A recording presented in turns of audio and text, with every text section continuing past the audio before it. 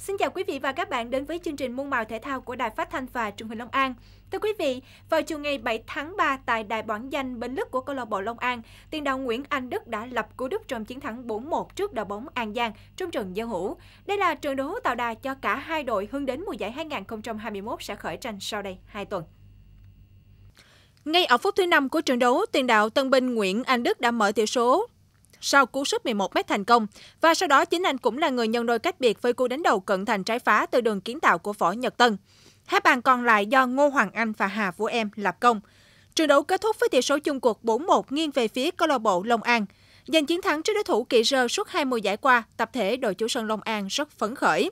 Có thể thấy việc có Đức Esto trên hàng công đã giúp cho huấn luyện viên Phan Văn Dầu giải mã được bài toán tấn công sau một mùa giải 2020 khó khăn khi cựu tuyển thủ đội tuyển Việt Nam có bóng trong vòng cấm.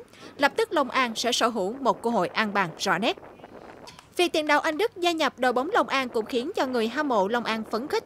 Khi trước đó đội bóng có hai buổi tập tại sân vận động Long An, đã có không ít cổ động viên đến sân chỉ để xem anh Đức tập luyện. Trong đó anh Dương Hồng Hà, một cổ động viên yêu mến của tuyển thủ quốc gia Nguyễn Anh Đức, không quản ngại đường xá xa xôi từ Tiền Giang đến Long An, chỉ muốn được tận mắt gặp anh Đức trong buổi tập của câu lạc bộ trên sân vận động Long An. Nghe ờ, đội bóng Long An tập trung chuẩn bị cho giải hạng nhất sắp tới và có cái hợp đồng mới chỗ à, cầu thủ quốc gia à, Nguyễn Anh Đức à, về đội bóng Long An. Với cương vị mới, nhiệm vụ mới thì lên đây cũng trước để gặp chỗ cầu thủ. Xem như là thần tượng là cầu thủ Nguyễn Anh Đức. Thì biết anh Đức cái từ thời anh Đức đá cho Bình Dương. Rồi sau đó có hợp đồng ngắn hạn ở Hoàng Gia Lai. Rồi à, năm nay thì à, về đây đầu quân cho à, đội bóng Long An. Thì với vai trò là vừa là cầu thủ, mà vừa là huấn luyện viên phó, thì tới đây là gặp để chúc mừng anh Đức. Và mong rằng là anh Đức sẽ thành công trong cái nhiệm vụ mới của mình.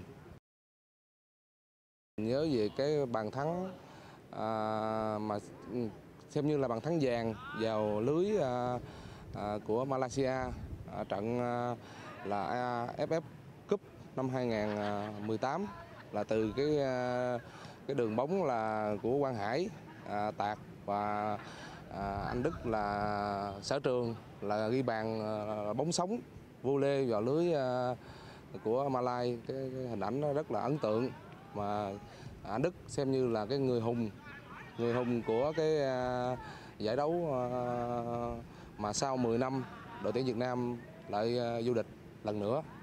Ngoài anh Đức thì mình tới đây là cũng để gặp gỡ một cái người em quê hương ở Tiền Giang là Võ Nhật Tân là về ở Long An này coi như là về lại mấy, mấy nhà xưa ngày xưa thì Nhật Tân thời đá cho Đồng Tâm Long An thì à, sau đó mới về à, SHB Đà Nẵng.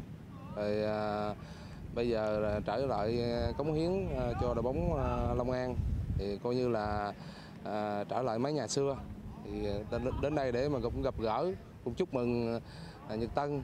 À, và mong rằng Nhật Tân về Long An lần này thì cũng sẽ cống hiến vào thành công chung của đội bóng. Cầu thủ Anh Đức là một cầu thủ đã có rất là nhiều kinh nghiệm. À, đặc biệt là đây là một cầu thủ đã ghi bàn vào lưới Malaysia vào mùa giải AFF Cup năm 2018 à, để đưa Việt Nam mình một lần nữa à, được chạm đến chức vô địch. À, nên là em rất là thích cầu thủ này. Với sự bổ sung cầu thủ Nguyễn Đức và nhiều cầu thủ khác thì em mong rằng mùa giải uh, mùa giải này uh, đội bóng sẽ đạt được nhiều thành công hơn mùa giải trước. Dạ thì ờ, có anh Đức ờ, về thì đội bóng của mình thứ nhất là sẽ có người dẫn dắt nè, rồi mình lối chơi rồi cũng như là kinh nghiệm các thứ từ anh Đức ờ, truyền lại cho mấy anh em cầu thủ trẻ. Dạ rồi thứ hai là các bạn cổ động viên cũng sẽ đến sân xem đông hơn và tạo khí thế mới hơn cho dạng như là à, cái sự sung hơn cho các cầu thủ thi đấu nữa chị. Khi nhắc đến anh Đức, hầu như tất cả đều nhớ đến hình ảnh anh ghi bàn thắng duy nhất vào lưới Malaysia trong trận chung kết AFF Cup năm 2018, qua đó giúp đội tuyển Việt Nam sau 10 năm lên ngôi vô địch. Cùng với kinh nghiệm và duyên ghi bàn của anh Đức sẽ giúp đội bóng Long An có mùa giải 2021 gặt hái được nhiều thành công và đặc biệt sẽ có nhiều bàn thắng được ghi. Dạ, thì à, mùa giải vừa qua là em thấy là thành tích thi đấu của, của đội bóng Long An mình nó cũng không được tốt lắm. Và mặc dù các vị trí cũng đã cố gắng à, thi đấu rồi. Nhưng mà riêng năm nay thì em thấy ban lãnh đạo có đầu tư à, thêm nhiều hợp bản hợp đồng mới cho đội mình.